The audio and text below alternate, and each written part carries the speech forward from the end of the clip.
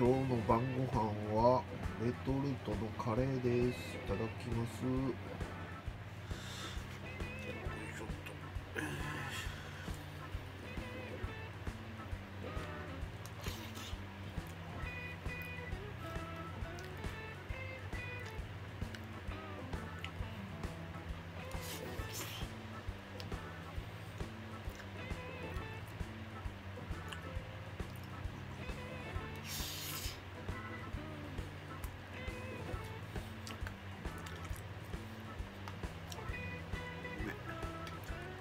半世紀生きたも働きたくないピラヤンです、えーこんばんは4月5日の夜7時過ぎたとこで。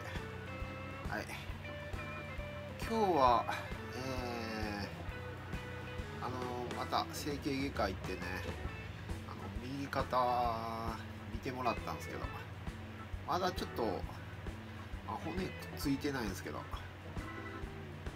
まあね、あのー今日からね、ちょっとリハビリを始めまして、ちょっと右肩をね、ちょっと動かしていこういうと、あのー無理しない範囲で やっていこういうことで、で、えー今ちょっとつってんすけどね、これもたまに外して、ちょっと自分でも動かして、えー、いきたいということになりました。はい。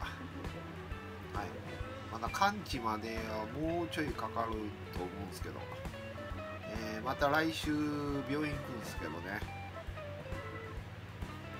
まあもうちょっと頑張ります。はい。動画ご視聴いただきありがとうございます。ピューロヤンでした。やまた。